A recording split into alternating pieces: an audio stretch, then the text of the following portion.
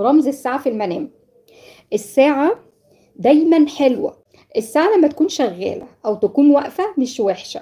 تمام كده؟ تمام. إعطاء الميت. أنا بس بجيب لكم الرموز السلبية اللي جات لي على النهارده اللي بيكلموني على application حاضر اتنين. جايين لي النهارده برمز الساعة وحد فسر إن الساعة من المتوفي موت. حد فسر إن الساعة الواقفة واقفة حال. لا. لا. لا. تمام كده؟ تمام كده. طيب تعالوا بقى نشوف ال- المعنى للساعة. الساعة دايما مبشرة قوي قوي يا جماعة قوي إحنا إحنا نقلق من الساعة الهين المتكسرة القديمة ضاعت التلاتة دول بس. متكسرة أو قديمة القديمة اللي هي اللي هي المقشرة بقى الجلد بتاعها بايظ إيه ساعة الحائط هل لها معنى؟ ساعة اليد هل لها معنى؟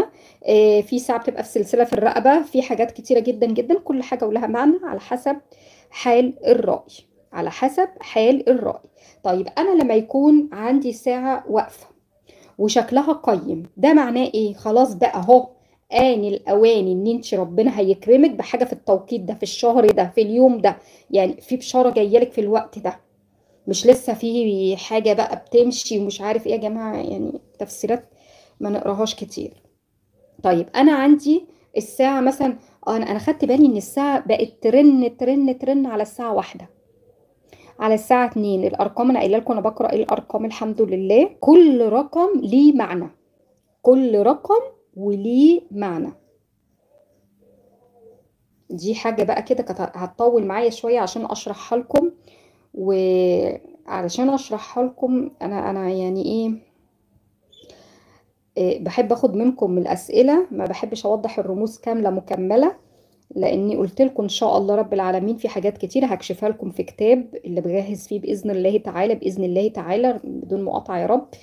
إيه هوضح لكم كل حاجة. أنا بديكم كده رموز إيه مش مبهمة عامة. رموز عامة. الأرقام في الرؤى مفيش ولا رقم في الساعة سيء ولا رقم في الساعة سيء إلا إذا رقم مثلا إيه واحدة إلا خمسة اتنين إلا خمسة تلاتة إلا خمسة أي حاجة إلا إلا إلا بيبقى عجز عند الرأي. أو لسه ما انش الأوان. كل ما كانت وي كل ما كان حلو. كل ما كانت ثابتة على رقم برضو حلو. ليها تأويلات تانية معايا؟ آه ليها. على حسب سياق الرؤية بحدد لكم بالظبط سياق الرؤية ماشي معانا إزاي. إيه، حاجة مثلا زي اللي حصل معايا في هنا كده ال- الشرخ ده مثلا. ساعة إيه، وقعت وحصل فيها شرخ. ده اللي بيحصل إيه بقى؟ حاجة بتكوني بتسعي ليها سعي إن انت بتسعي لأمر ما بس هيزعلك. موقف فيه هيزعلك. لو حد وعدك بوقت معين أنا مثلا إيه هاجي ارتبط بيكي في شهر خمسة. أنا أنا الشغل بتاعك آه، إن شاء الله هظبطه لك أو هظبطه لك مش عارف في شهر واحد. آه طب استنى مش عارف كذا. كل ده هيطلع كلام باطل. ركزوا معايا. كل ده هيطلع كلام باطل. طيب أنا الت- التوقيتات اللي بتبقى حلوة قوي قوي في الرؤى كل الأرقام توقيتاتها طيبة جدا جدا فوق ما تتخيلوا. إلا رقم واحد بيبقى إشارة من عند الله سبحانه وتعالى يقول لك ربنا استوب اقف هنا. مفيش حاجة هتيسر لك أمرك إلا التقرب من الله سبحانه وتعالى. تمام كده؟ طيب أنا دلوقتي أما تكون في حد كتب لي الاستيك الساعة.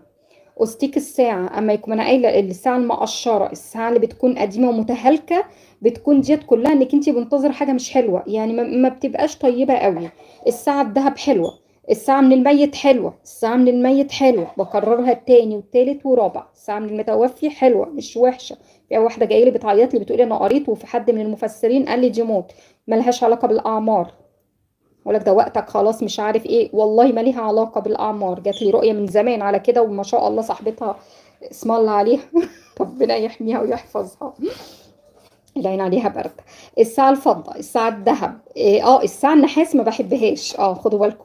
الساعة النحاس النحاس مش الذهب ما بحبهاش. بيبقى صاحبها يعني إيه الأمور معاه بتبقى مش طيبة قد كده يعني.